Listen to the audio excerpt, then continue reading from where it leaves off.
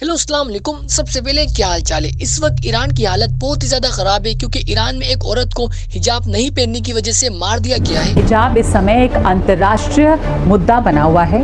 Iran के शहरों में Deadly protests sweeping across that country after the death of a young Iranian woman. और इसी वजह से औरतें सड़कों में आ चुकी है धरना दे रही है हिजाब के खिलाफ। और अभी के टाइम तकरीबन से तकरीबन पंद्रह से ज़्यादा शहरों में औरतें धरना दे रही हैं। और काफ़ी ऐसी वीडियो सामने आ रही है जिनमें औरतें हिजाब को उतार रही हैं, जला रही हैं, फाड़ रही है। और काफ़ी तो ऐसी भी वीडियोस आ रही है जिनमें औरतें अपने बालों को काट रही है और वीडियो बना के खुद अपलोड कर रही है।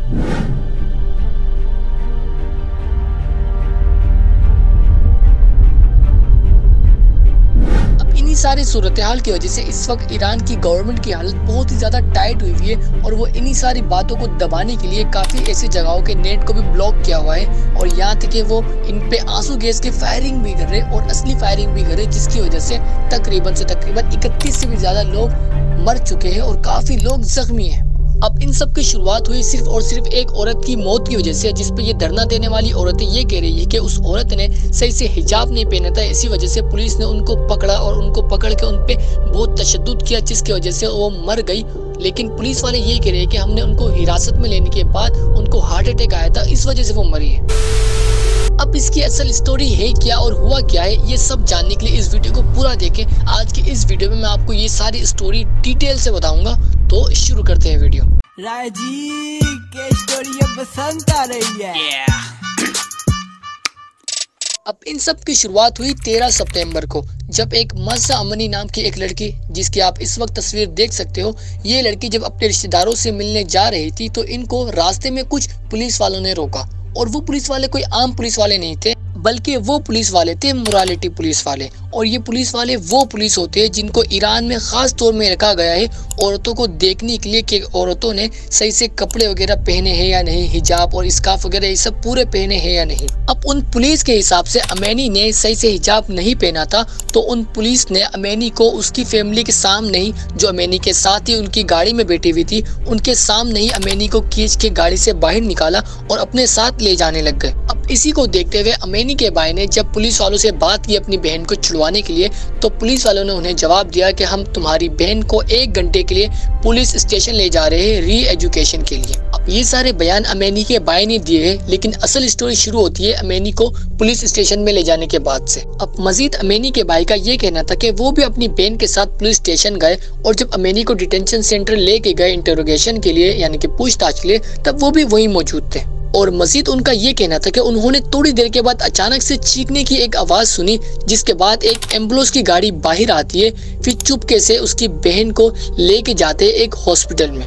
और उस हॉस्पिटल का नाम कासरा हॉस्पिटल है, और पुलिस की तरफ़ से अमेनी के भाई को ये कहा गया कि आपकी बहन को हार्ट अटैक आया है। और वो इस वक्त कोमा में है। फिर तकरीबन दो दिन के बाद, यानी कि 15 सितंबर को, वहाँ की पुलिस एक ऑफिशियल स्टेटमेंट देती है, जिसमें वो ये कहती है कि अमेनी को अरेस्ट करने के बाद हार्ट अटैक आ गया था। लेकिन अमेनी के भाई का ये कहना था कि सिर्फ़ दो ही घंटे गुजरे थे अरेस्ट करने के बाद हॉस्पिटल लेके जाने तक के, लेकिन हॉस्पिटल में जाने के बाद उसकी बहन कोमे में कैसे चले गए अचानक से।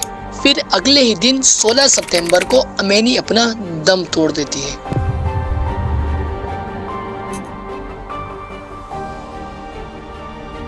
अब ये तो थी अमेनी को अरेस्ट करने से लेकर अमेनी की मौत तक की स्टोरी अब बढ़ते हैं इस स्टोरी की तरफ़ कि आखिरकार ऐसा क्या हुआ कि इतने सारे लड़ाई, फसाद, ये प्रोटेस्ट वगैरह, धरना वगैरह शुरू हो गए और लोगों ने हिजाब के साथ ये सब करने लग गए।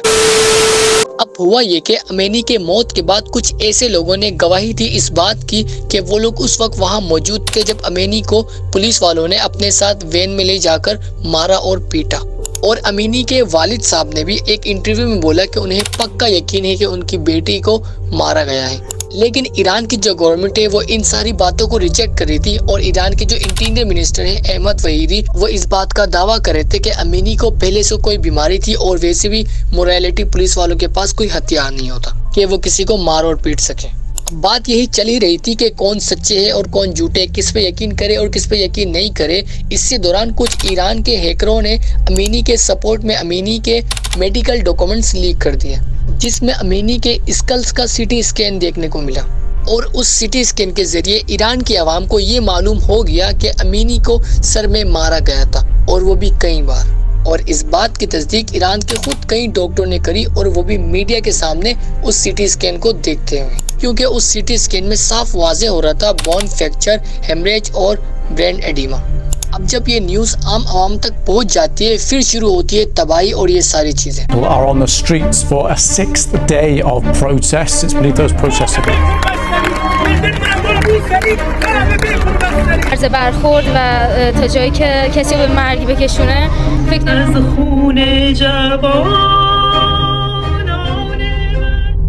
अब यही सब जब प्रोटेस्ट चल ही रहे थे कि इसी दौरान एक डॉक्टर ने अमीनी की कुछ पिक्चरें और लीक करी जिसमें वाजे हो रहा था कि अमीनी के सर में से खून निकल रहा था और वो पिक्चरें तब की थी जब अमीनी हॉस्पिटल में मौजूद थी और उस डॉक्टर का ये कहना था कि ये सिम्टम साफ़ वाजे करते हैं कि ये कोई हार्ट अटैक नहीं था, बल्कि इनके सर में मारा गया था किसी चीज़ से।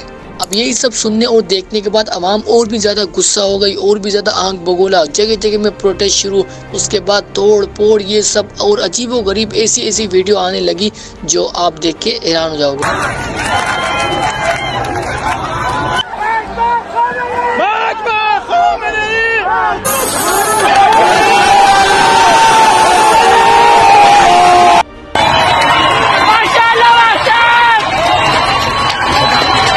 जब ईरान की आवाम कंट्रोल से बहुत ही ज़्यादा बाहर होने लग गई और उसके बाद जगह जगह में फसाद, दंगा और इस तरह के हंगामा शुरू होने लग गए तो ईरान की गवर्नमेंट ने एक सीसीटीवी कैमरा की वीडियो पब्लिश करी, जिसमें ये दिखाया जा रहा था कि एक लड़की पुलिस स्टेशन में अचानक से चलते चलते गिर जाती है, सर केबल और ये बताया जा रहा था कि वो लड़की अमनी है, जिसको हार्ट अटैक आया था।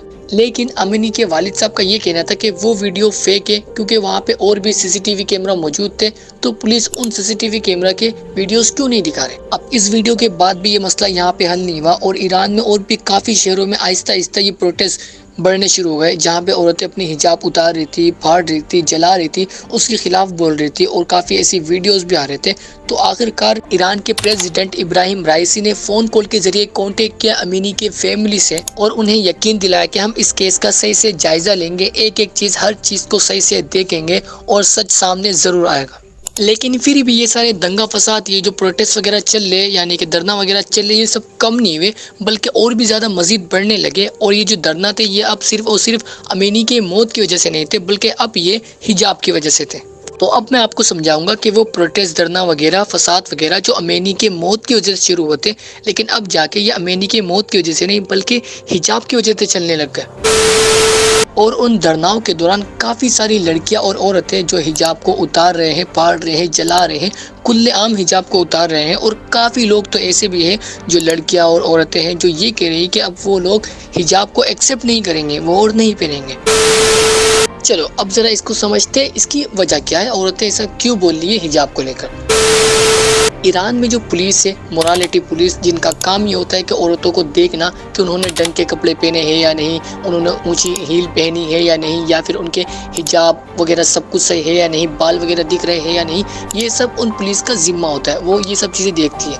लेकिन ईरान की औरतों का ये कहना है कि ये जो मोरालिटी पुलिस है, ये इनके साथ बहुत ही बुरा सलूक करती है और उसके बाद काफ़ी औरतों ने वीडियोस अपलोड करने लग गए यूट्यूब में, काफ़ी अलग अलग जगहों में, जिनमें वो अपनी वीडियोस दिखा रही थी कि हमारे साथ देखो किस किस तरह का सलूक किया या फिर किसी और की वीडियोस वो लोग अपलोड करने लग गए। जिन वीडियोस को देख के लग भी रहा था कि हाँ वाकई में मोरालिटी पुलिस कुछ ज़्यादा ही अवर हो रही थी।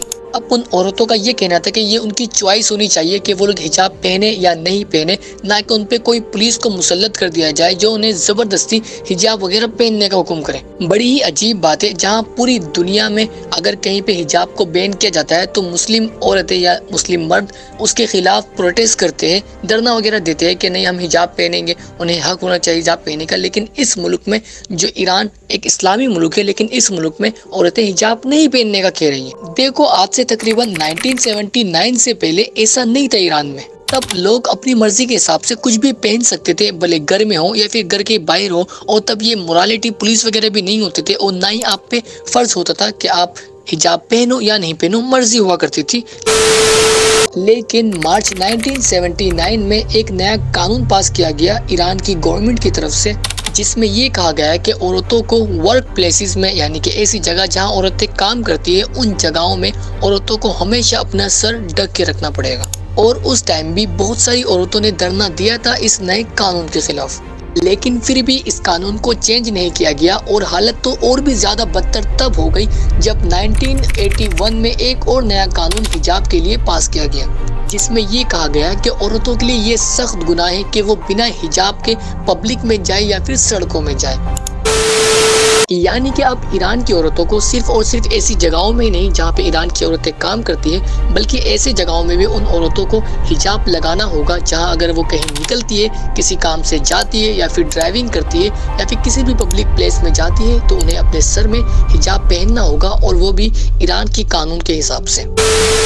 और अभी हाल ही में ईरान की करंट गवर्नमेंट जिसके प्राइम मिनिस्टर इब्राहिम राइसी है, उन्होंने भी एक कानून पास किया था जिसपे उन्होंने ये बोला कि ये जो ईरान में हिजाब के कानून है, इनमें कुछ पाबंदी होनी चाहिए, कुछ सख्तियाँ होनी चाहिए। और ये भी कहा कि ईरान में इस वक्त कुछ औरतें सही से हिजाब नहीं कर रही है और इसी वजह से अपने मोरालिटी पुलिस के साथ इन लोगों ने एक क्रैकडाउन शुरू किया। और ईरान में औरतों को हाई हील्स और स्टॉकिंग्स भी पहनने से पाबंदी लगा दी गई। और ये भी कहा गया है कि अब औरतों को ईरान में अपनी गर्दन और अपने दोनों कंधों को भी ढकने पड़ेंगे। अब इसी तरह के कानून की वजह से ईरान में 1979 से लेकर आज तक के बहुत सारे इस तरह के प्रोटेस्ट हुए हैं, जिसमें औरतें हिजाब के खिलाफ आवाज़ उठा रही थी। साल 2014 में भी एक कैंपेन चली थी ईरान में औरतों की तरफ़ से हिजाब के खिलाफ, जिसमें ईरानी औरतें अपनी वीडियोस और पिक्चरें शेयर कर रही थी, वो भी बगैर हिजाब के। और कुछ औरतें तो हिजाब को उड़ाते हुए, यानी कि अलग अलग पोस्ट के पिक्चरें शेयर कर रही थी ऑनलाइन कैंपेन में। यानी कि ईरान में बहुत पहले से ही हिजाब को लेके औरतों ने टाइम टू टाइम प्रोटेस्ट करते रहे हैं और ये जो अभी मासा अमनी वाला एक प्रोटेस्ट शुरू हुआ है ये तो अभी एक लेटेस्ट प्रोटेस्ट है फिर ईरान के कुछ अनोनमस हैकर ईरान की गवर्नमेंट के दो वेबसाइट को हैक करते हैं फिर एक वीडियो पब्लिश करते हैं ये कहते हुए कि ये जो ईरान में औरतों पे वायलेशन हो रहा है ये बहुत पहले से ही हो रहा है This is a message from Anonymous. To the dictator Ibrahim Raisi and the Iran government, violence against women is a cruelty that has been seen in Iran for years. Masa Amini is the last victim of the murderer Iranian state and the so-called morality police.